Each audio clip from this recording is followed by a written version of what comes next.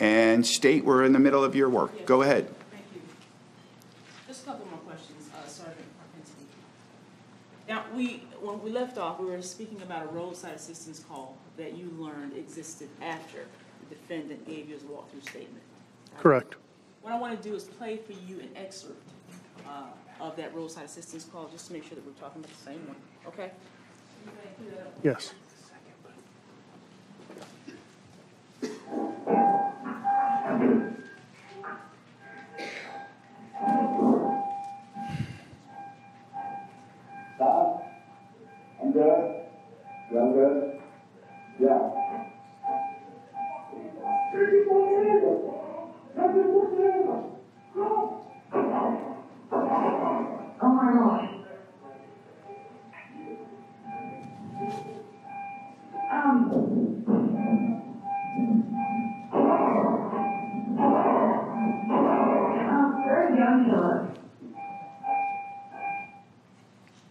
That the roadside assistance call you were referring to? Yes. And that break in between what was the third shot and what began the fourth, fifth, and sixth shot, when you indicated a little while ago that it was between ten and twelve seconds, is that the break that you're talking about that we just listened to? Yes.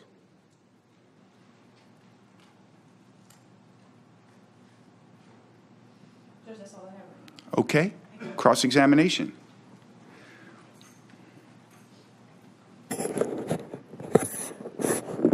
Thank you. Good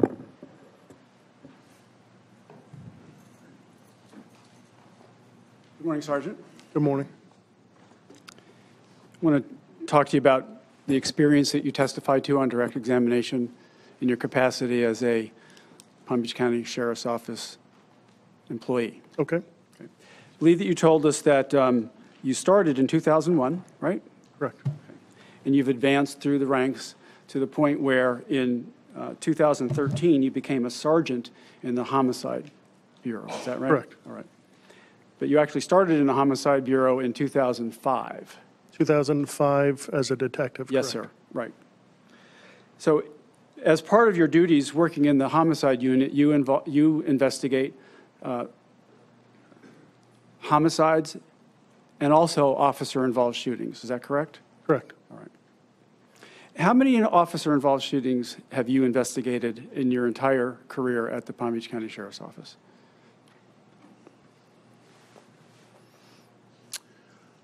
I would venture to say, as part of my duties as a detective and as a sergeant, I either led, assisted, or supervised on probably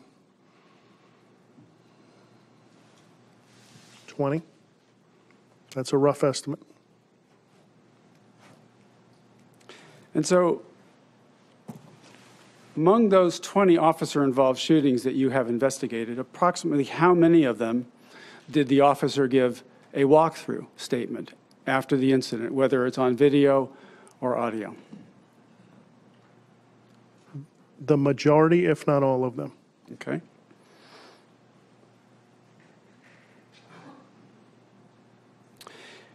And in general, in general, in your experience as a detective investigating 20 or so officer-involved shootings, where a police officer, in the majority of them, if not all of them, has given a walkthrough, have you found in your experience that if a person is not accurate about something, that that does not necessarily mean that they are intentionally stating a false fact? I'm going to give you a slight leeway. Can you answer that? I think only they can answer that. Okay. All right? I'm going to approach the witness, Your Honor. Deposition, January 9th, page 48 and 49. Sergeant, I'm going to show you your deposition. You remember giving a deposition in this case? I do. And um, I want you to take a look at it. Now, a deposition is a sworn statement that is given by witnesses in criminal cases prior to trial in the presence of the lawyers who are handling the case in an effort to discover what that witness may say if the case were to actually go to trial. Is that correct? Correct. All right. And when you gave your deposition on January 9th, 2018, um, Mr. Lubin and Mr. King were present, is that correct? Correct. And Mr. Fernandez was present, correct? Correct. And prior to giving your deposition, the court reporter, similar to the court reporter who's seated right in front of you, administered an oath to you to tell the truth. Is that Correct. correct? All right. I want to direct your attention to, and have you had an opportunity, sir, to review page 48 and 49 of your deposition? Uh, 48 I have. Okay, if you would turn on to 49, that's where the answer is.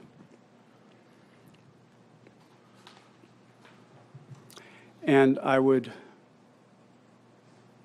encourage, I'll wait for you to finish.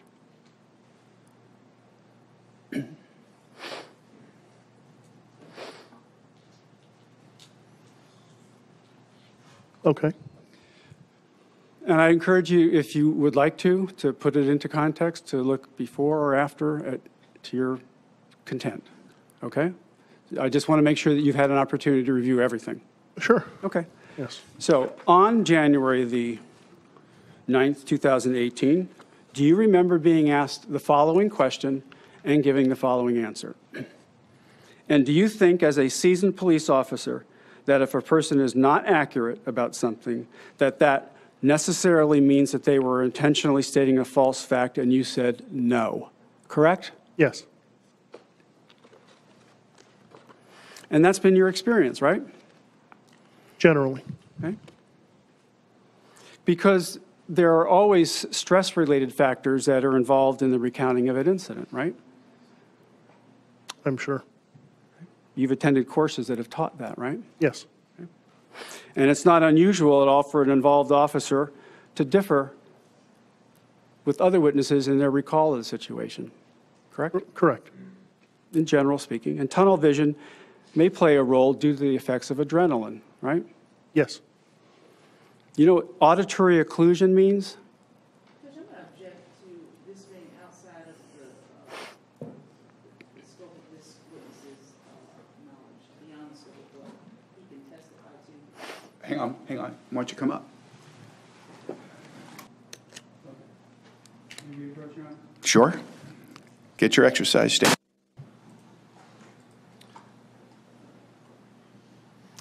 Sergeant, um, when you did the walkthrough and Mr. Raja was talking about what he saw, and he described it as a LaserMax on the guide rod of handguns. You're familiar with laser max, aren't you?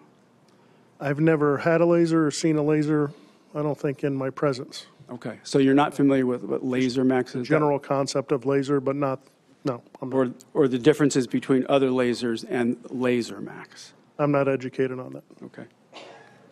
One moment, Your Honor. Sure.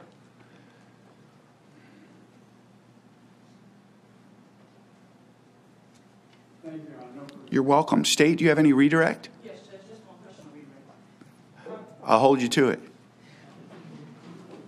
That's a famous lawyer joke. Well, I only have one question. Miss Ellis, you've been fantastic, both sides. No problem at all. Just teasing you. Remember when defense counsel asked you, uh, he referred to your deposition?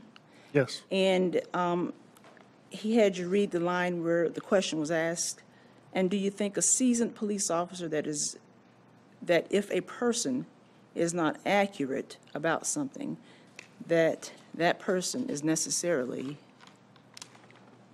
means that that person is, means they were intentionally stating a false fact? And your response was no. You recall reading that a few minutes ago? Yes, I do. Now, that question that he, he asked you back in the deposition in this, in this morning, he wasn't referring to the defendant, right? I think just that it was a general question was a general based on question. experience and, right. Okay. So this wasn't a question that specifically referred to defendant Raja in this case? Correct. Nothing further, Judge. Thank you. You may step down. Watch your step. Thank you very much. Uh, Yes, we're going to grab that depot from you, give it back to the defense, and state call your next witness. Uh, crime scene investigator Thomas. Crime scene investigator Thomas.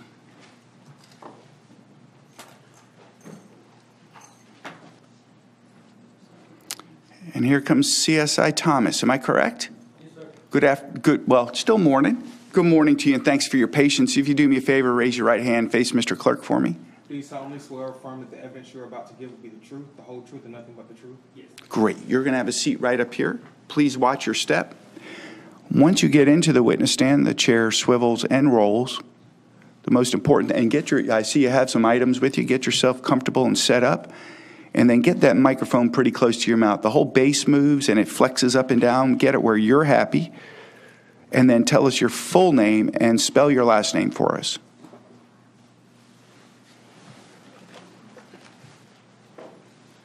My name is Keith Thomas, T H O M A S. And state when you're ready.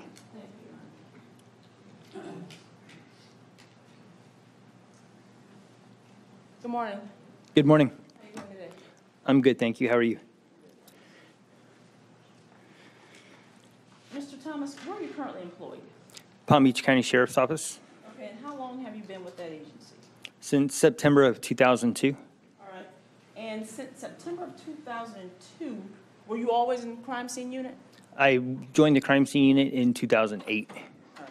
What did you do from 2002 to 2008?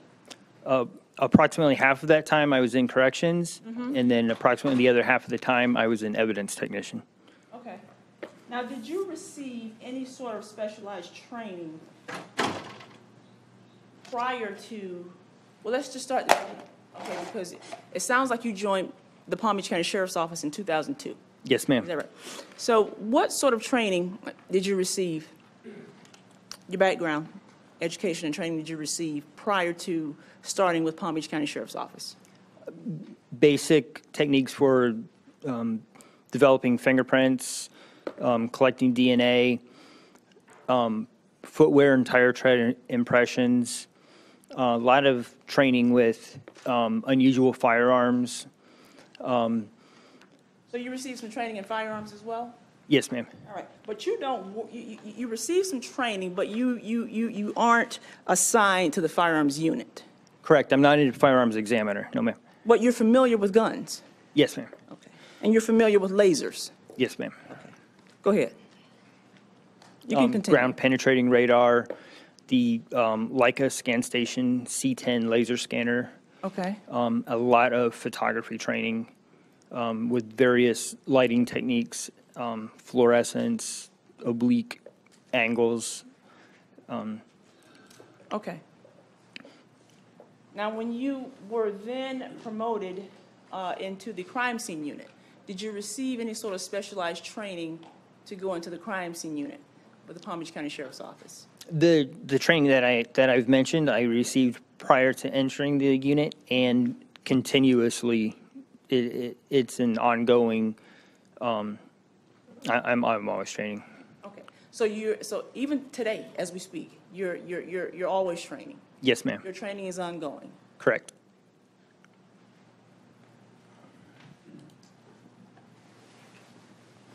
I want to talk to you, uh, CSI Thomas, about what you did in this case.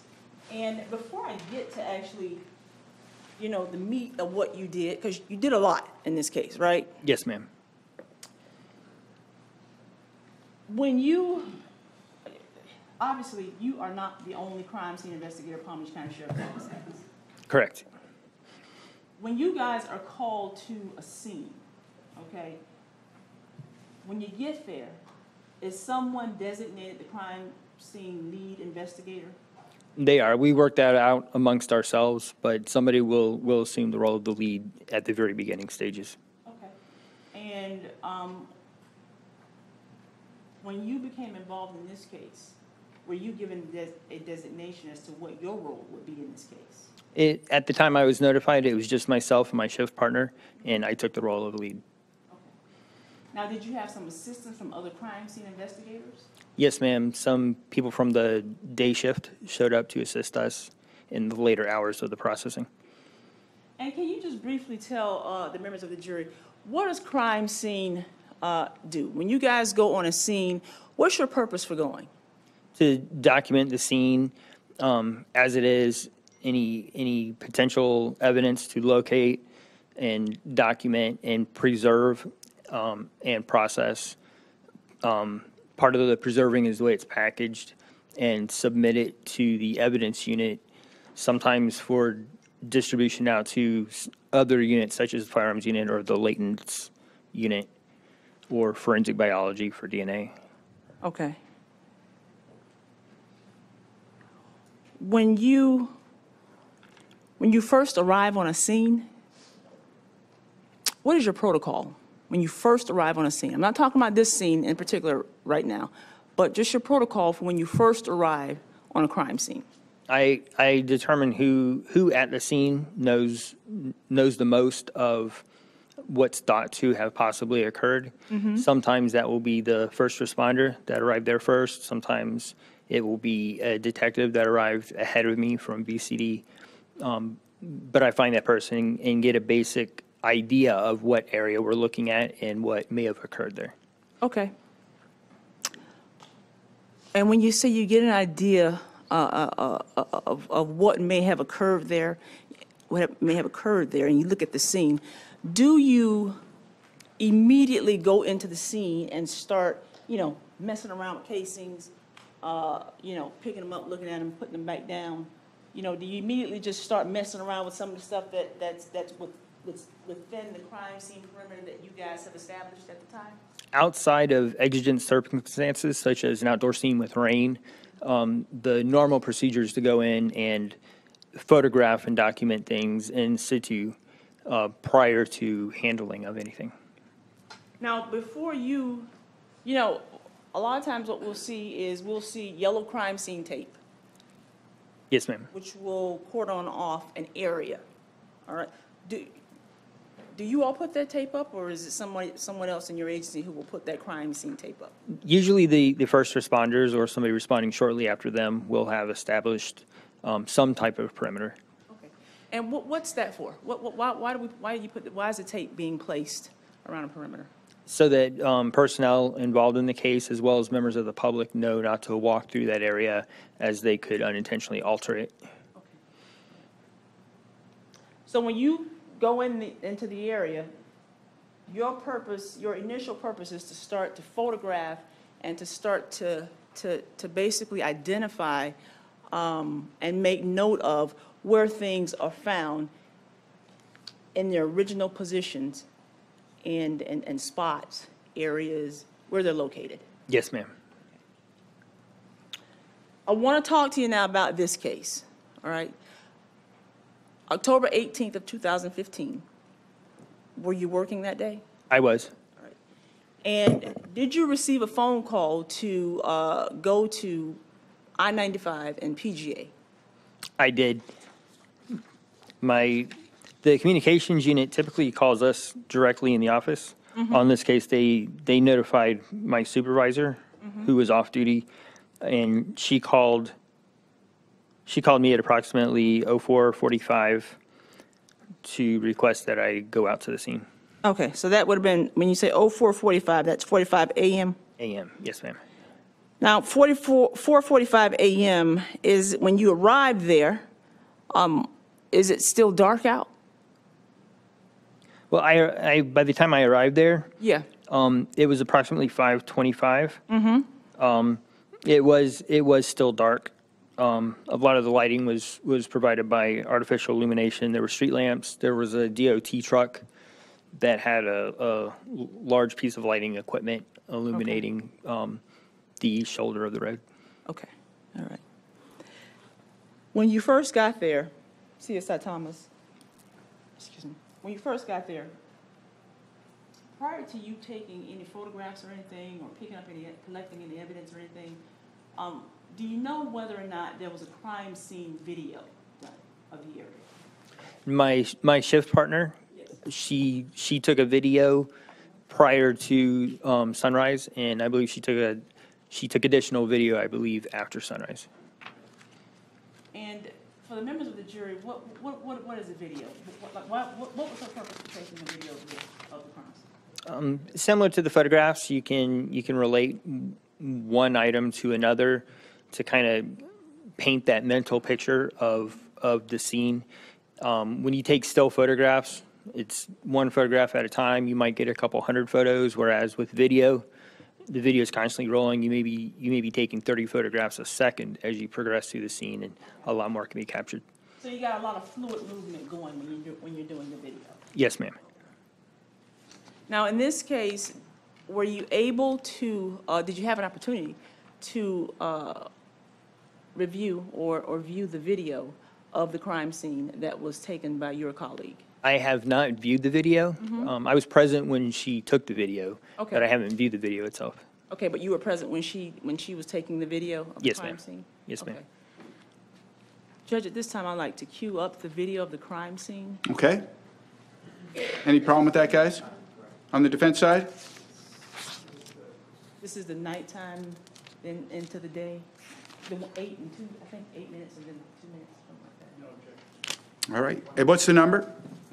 Because that's gonna be 14? 14 it is, admitted, without objection. Is that, that's the night, start with the night.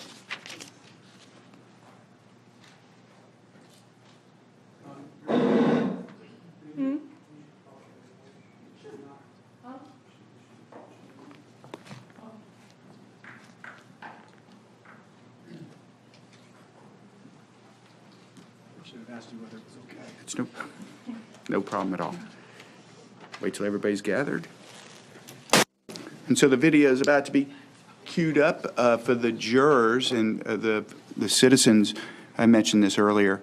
So uh, during the process of the trial, you're going to see some uncomfortable things. And I feel like it's important to tell you a, a little bit of that's going to happen right now. And uh, if any of you feel overcome that you need to leave or whatever, then I just need to get a high sign from you, and everybody's got to go out there. And I've already talked to the citizens in the audience about that. So I just feel like it's important to tell you that's coming right now. And um, so I'll keep an eye on you, okay? All right, State, I'm ready for you.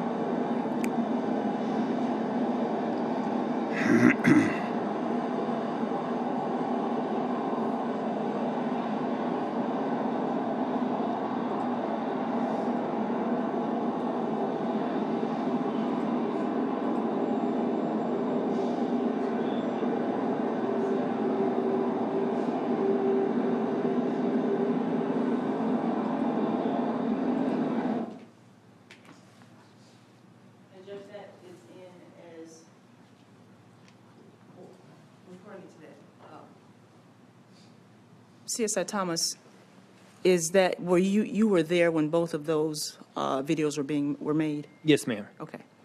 Judge, we would admit those as states uh, 14. And I think I've done so already, admitted. So now, let's talk about, uh, CSI Thomas. Once the video is done, and within the video, what we were able to see is that there were already cones that were placed down. There were already those little yellow things that you either call placards or stanchions that were placed down, right? Correct. So some of the stuff that you normally do, um, that, that, that you do when you're, you're doing it to, uh, preserve the integrity of the evidence, you had already done when that video was, was being made. Some, prior to my arrival, um, the larger unnumbered orange cones had already been placed, um, I believe by members of the uh, Palm Beach, Ga- Palm Beach Gardens Police Department. They were the first on the scene. Um, The, the smaller orange cones with the numbers were placed later, at a later time. And the, the yellow stanchions or placards were placed by me. I want to show you what is going to be, uh, states 15 composite A through C. Judge, I've shown all photos that I have here to defense counsel prior to this. Thank you. Okay? Excellent. Yep.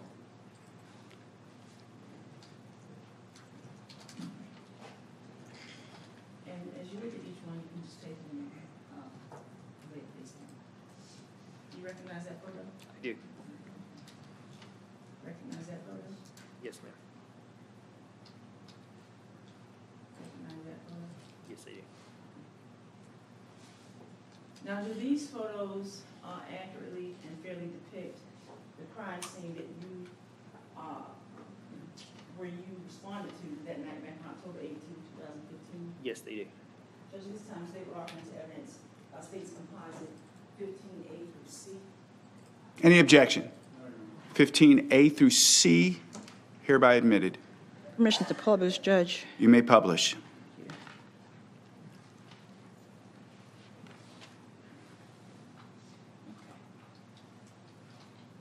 This picture here,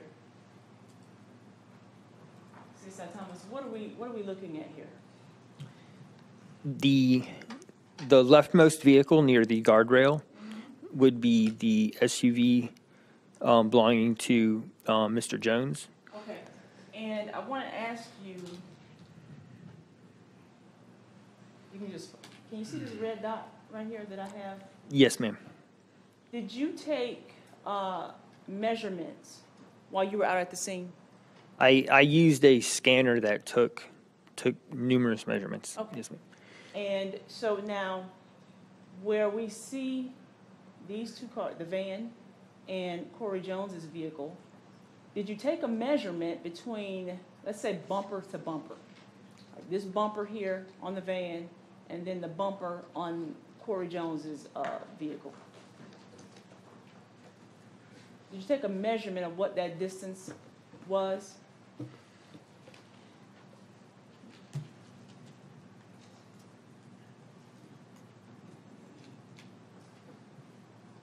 Not the bumpers. You didn't take a measurement of the, di- of the, of the, Oh, the- ex- the bumper to bu- bumper distance? If, if I may have a moment, please. Sure.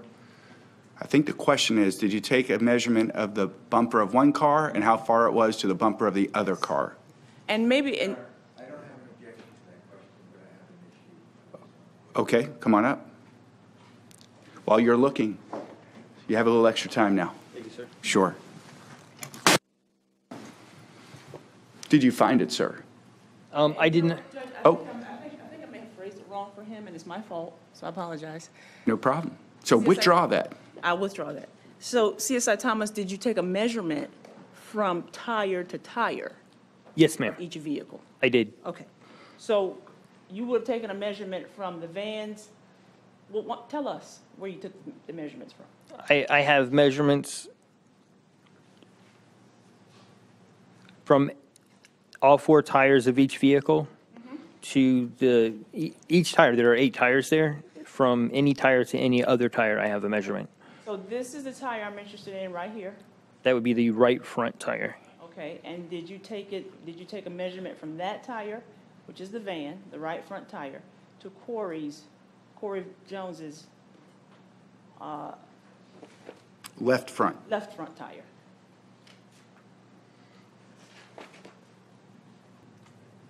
From the right front tire of the white van to the left front tire of the SUV, I measured approximately seven feet, five inches. Seven feet, five inches. Thank you. So I'm going to show you what is, hold on here, what is now 15B. And that's just another vantage point of the same two vehicles, right? Correct, Just not, shot from a different, dir- different angle. correct. Both vehicles are in the same position. Same position, okay. And fifteen C, Another angle of the same. okay, all right, thank you.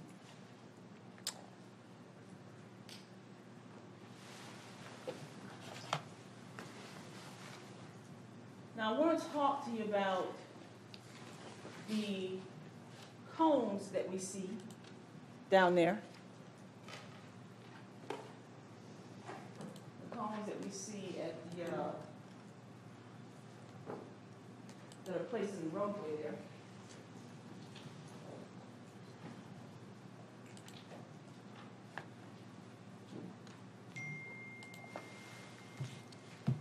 It's going to be 16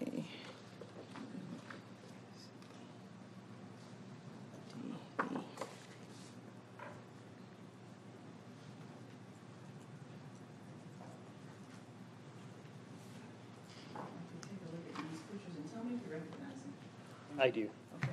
All right, just look them down as you look at them. Yes, ma'am. Yes, ma'am. And if you guys could do me a favor, just lift your voices a little bit Yes, for, Okay. Okay, And this one? Yes, I do. Now, the photographs that I've just shown you, um, do they fairly and accurately represent, uh, the scene as you, uh, saw this, as you, as you saw it back on October eighteenth of two thousand and fifteen? They do with the, with the orange cones having, the large orange cones having been placed prior to my arrival and the yellow stanchions placed by myself. Judge, at this time, state what offerings of evidence, state sixteen A through E. did you say D as in dog? E, I'm sorry. E Judge. as in Edward. Any objection? Admitted. Actually, Judge, it's, I'm sorry. Uh-oh.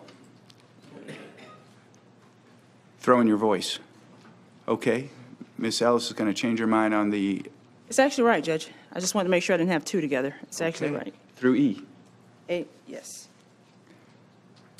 Permission to publish, Judge? Yes, ma'am. So now what I want to look at here, CSI Thomas, is what we see here are the cones that you were just referring to.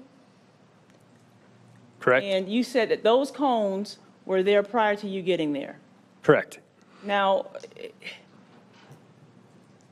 next to the cones, we see what are the little yellow stanchions or placards, right? Correct. Okay, wh- did you place those down there? Those are the ones that I placed. And what, what does number one, number two, and number three, what do they represent? Casings that were located on the roadway. Okay. And did you take measurements of the casings? The distance that they were uh, from one casing, number one to number two, and number two to number three?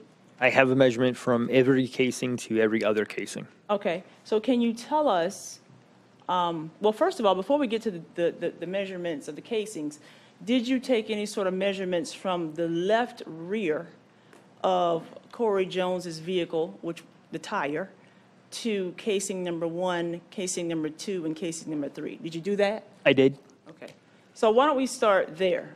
with uh, the rear of Corey Jones's vehicle? Okay, with the left rear tire of the gray SUV to casing number, with, marked with stanchion number one, would be approximately six feet, four inches. Okay, To casing number two from the same tire, approximately 12 feet, 10 inches. Okay. From the same tire to casing stanchion number three, 17 feet, 5 inches. okay. And Those- now, go ahead. Those are the three depicted in that photo. I didn't know if you wanted me to continue with. Yeah, just the, just the three that are depicted in, in the uh, photo. Now, can you tell us what the measurements were for uh, casing number one to casing number two, and then casing number two to casing number three?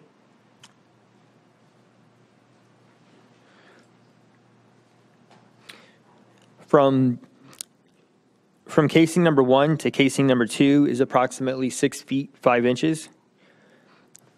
From casing number one to casing number three is approximately 11 feet, two inches. Okay. All right. I'm going to show you now what is going to be 16B. Now, 16B, we see three more cones, and we see three different numbers. Is that right? Correct. Okay. And it starts with number four, five, and ends with six. Correct. Those, those would be the numbers that I placed. Okay. And are, did you place the, you- the, the little stanchions there also? That's what I'm referring to, that I placed. The, the orange cones were in place. I placed the ones with the yellow numbers. Okay. Now, did you take measurements uh, from the le, from the rear of Corey Jones's uh, tire to casings four, five, and six? Yes, I did. Okay, can you give us those measurements, please? And let's start with number four.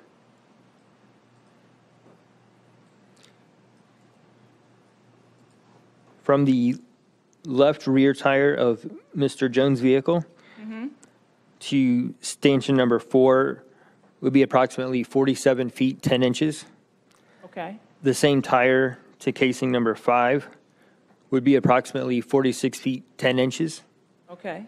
The same casing to stanchion number six would be approximately 53 feet, 11 inches. Okay. Did you take a measurement from casing number three? From casing number three, here, to casing number, what begins casing number four? Did you take a measurement there? I did Okay, and what's that measurement? approximately 34 feet, 1 inch. And what about uh, a measurement from casing number three to casing number five? Approximately 34 feet, 7 inches. And what about a measurement for casing number three, from casing number three to casing number six? Approximately 40 feet, 9 inches. Okay.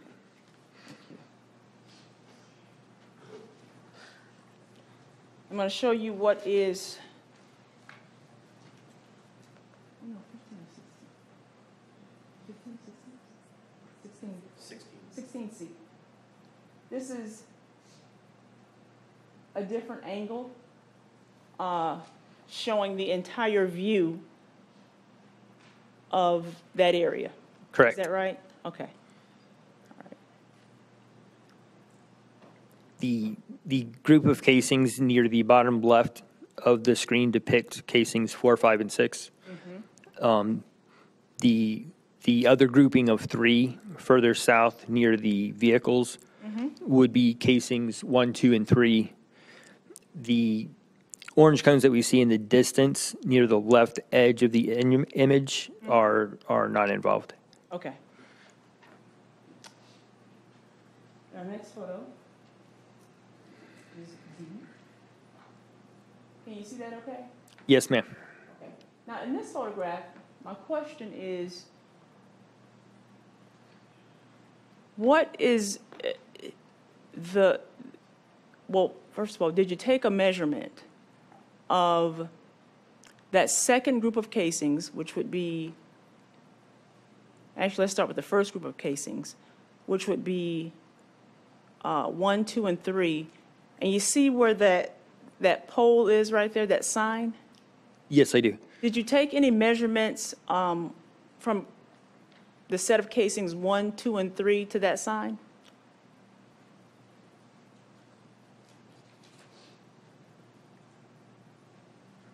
Yes, I did.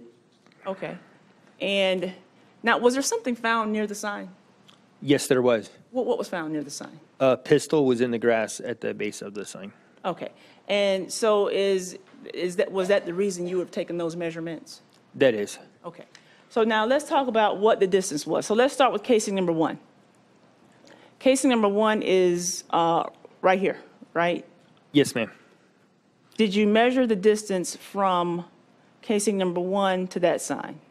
Yes, I did. To that sign, okay. And so the, the, the gun that you're referring to is, and we'll get to a photograph of that, but the gun that you're referring to is lying pretty much like right in, right next to it. It's very close to the base of the pole of that sign. So what was that distance, uh, Mr. Thomas? From the first casing to the to the pistol would be approximately 68 feet 8 inches. Okay. And what about casing two Approximately 64 feet 9 inches. and three? Approximately 65 feet. All right. And what about the second group of casings? Did you take measurements from those second group of casings to where you located the gun near that sign? Yes, I did. Okay, and what were the measurements? From casing number four to the pistol, approximately 37 feet 2 inches. Mm-hmm. Casing number five to the pistol, approximately 33 feet 3 inches. Okay. Casing number six to the pistol, approximately 31 feet 6 inches. Okay, thank you. And E, I'll show you E. Now, in photograph E, what we're looking at here is, this is the rear of, M- of Corey Jones's vehicle. Yes, Is ma'am. that right?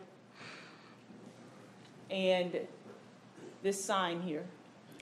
Correct. Did you take a measurement from any of the rear tires of Corey Jones's vehicle to that sign where you located uh, that gun? I did. Okay. And what's the measure, wh- wh- well, first of all, what is your, me- what is, did you measure the bumper or did you measure a The- tire? I, I measured both tires. Okay, can you give us the measurements? Yes, ma'am.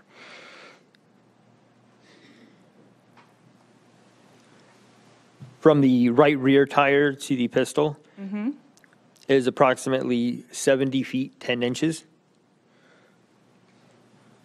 Okay, From the left rear tire to the pistol is approximately 72 feet 6 inches. okay. And so you, so the measurements you just gave us is not, the sign is just kind of a landmark where the gun was located, since it was located right next to it. But you actually measure, your, your measurement was from the back of those two tires to where that gun was. Correct.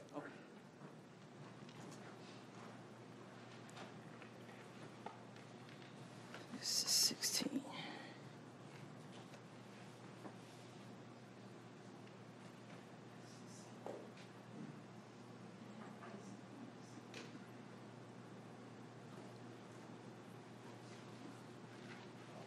I'll show you what is going to be states 17 composite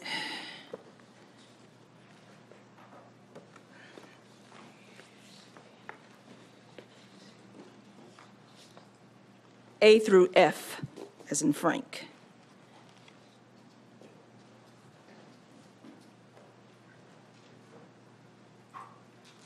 And you can just take a look at these and just, as I hand them to you, can you just turn them over when you, first of all, do you recognize them? Yes, I do.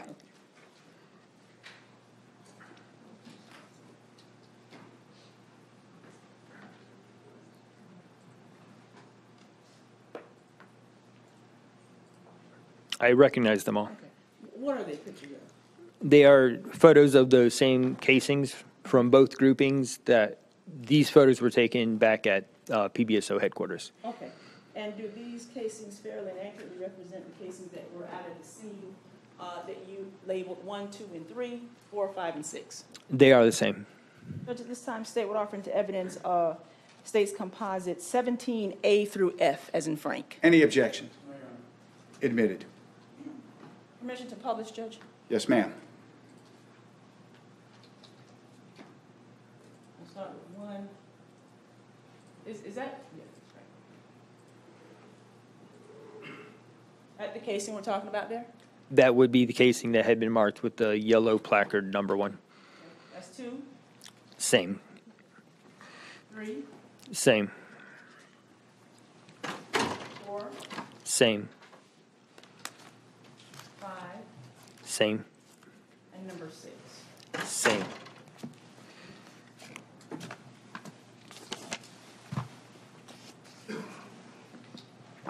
Now, after, I know that the photographs that I just showed you were taken back at, at headquarters, as you mentioned. Um, And for you to have taken them back at headquarters, you had to collect them, right? Correct. Okay. So did you collect those casings out at the scene? I did. Okay. I'm going to show you what is going to be States 18.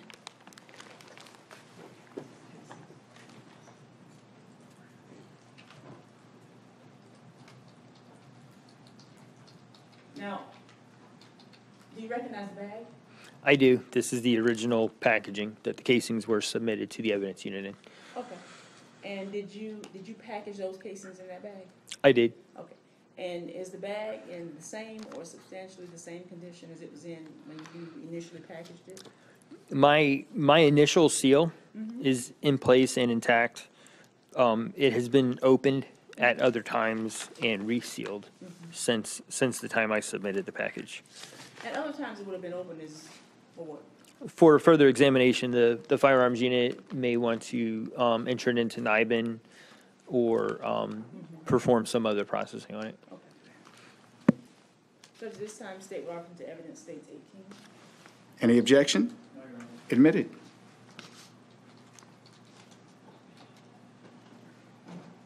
And so, what's in that bag, are those the same casings that I just showed you, which was states seventeen, A through F, those casings? That is the bag that I packaged the casings into.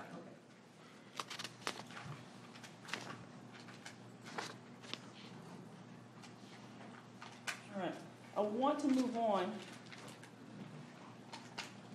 to our next group of photos. Which is going to be states nineteen A through H, as in Harry.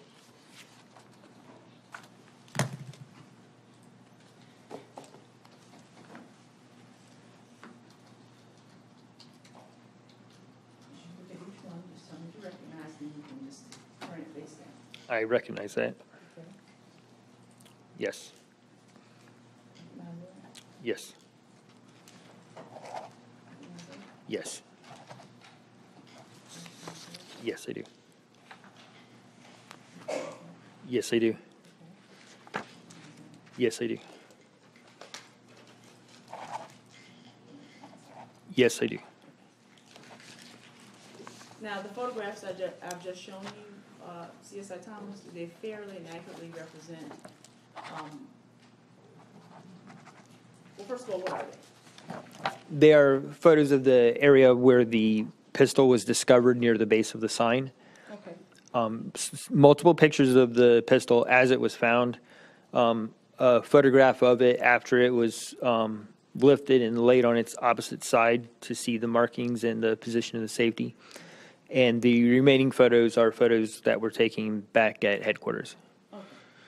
And, uh, after looking at these, are they a fair and accurate depiction of, uh, what the, what this, what, what the gun, when you initially found it, located it, what it looked like at the scene? Yes, there.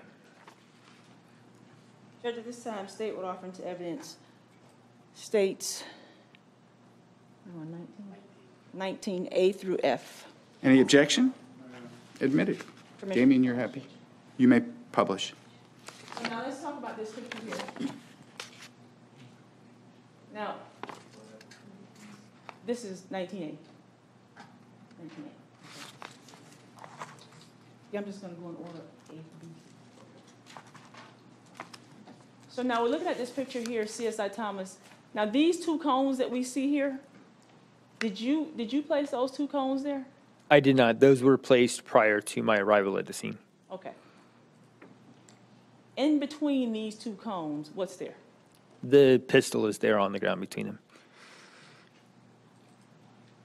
Look at nineteen B. Okay, now that's a, a, a- closer up photograph of that same area, right? Correct. It's a, it is closer and it's at a better angle to see where the gun was in the grass. Okay.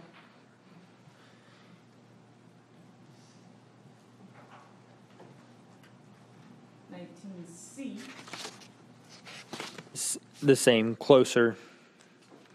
okay. And now it's, uh, the only part of this gun that you can see out here, um, that's, is really what you would call the, I guess the handle. The, the grips are most apparent in the photo. And the barrel is sort of buried down underneath this vegetation here. Correct. As, as that photo, as that photo is oriented, the, the barrel is pointing toward the left edge of the page.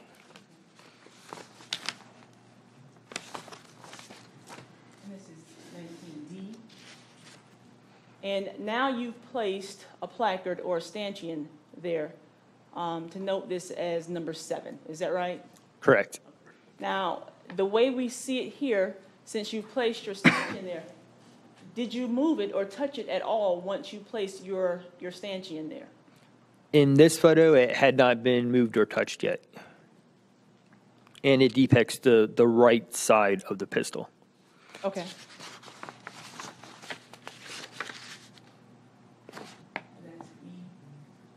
That's E. Another representation of that, another photo of that same area where you placed the, the placard. Correct, just taking further back to, to illustrate the proximity to the guardrail and the street sign.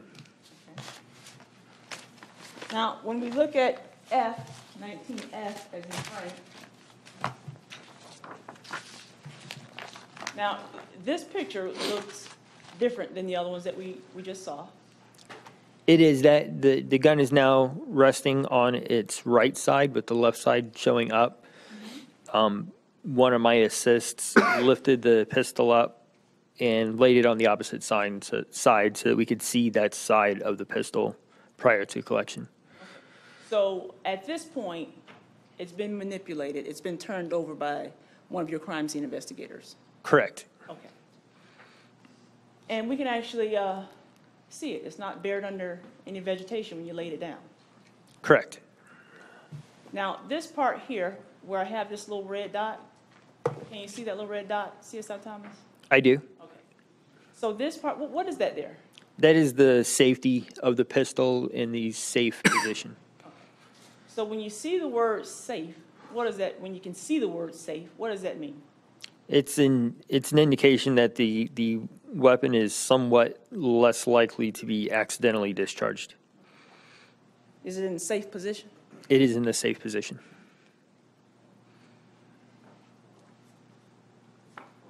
And we're gonna look at G, nineteen G, is that, now, these are the photographs, now we're looking at the same gun, but taken back at headquarters, right? Correct. Okay. And this is one side of the, of, this is the other side of the, of, of the gun that does not have the safety on it, correct? Correct. And let me rephrase that. The safety's just not located on that side of the, of the gun, right? Correct. It's downward toward the table. And then we have finally H, that's the other side, That is the other side. okay, and that's the safety there. Yes, it is.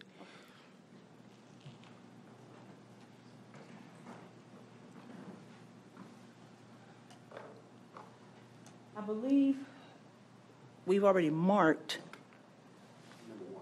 It's number one? Okay. Do we have a stipulation for it? It's not? Okay. Madam Clerk, we have number one? We do? Okay, thank you.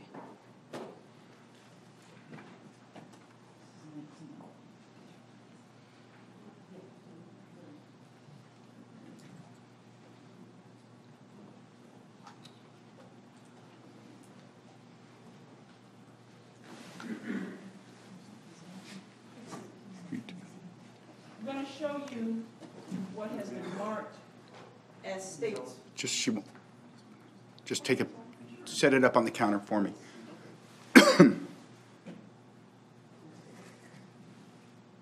Hey, Deputy Dunkley, you've personally cleared that, correct? Okay. I'm going to show you what is marked as states one. I can take a look at it. First of all, do you recognize the box? That is the box I originally submitted in. Okay. And now, is the box, I mean, I know it's open, but is it in the same or substantially the same position as it would have been when you initially sealed it? Same box? The same box, uh, my seals are there, they're, they're broken, they are in place. The description that I applied to the box is there, Okay, including a, a portion of it that's handwritten and initialed by myself. okay. And so now, what are we looking at in states one? That is the, the pistol, the magazine that was contained with the pistol, the, the lock that's been added since, just for safety purposes, and the envelope of cartridge cases. Okay. Now, looking at this uh, pistol in here, and it's secured in here, um, does it appear to be the same firearm that you located that night at the scene that was marked at stanchion seven? It appears the same. Okay. Judge, at this time, the state will offer into evidence states one. Any objection? Admitted. And Judge, you know, I, I think I, I may be put it on this Elmo. I just want the jury to see it. Let's see if it works. Stick- stick Okay. it on there. Okay, yeah. and I don't think I told this jury this, at the end of the trial, most of the evidence you're going to be given back in the jury room. So you can look it over, the photographs you've all seen on the screen, you're going to be handed those photographs. So you don't have to worry about, oh, you're going to get them. Now, you're not going to get that, but um, if you need to see it, we bring you out here and we, we let you actually hold it, okay?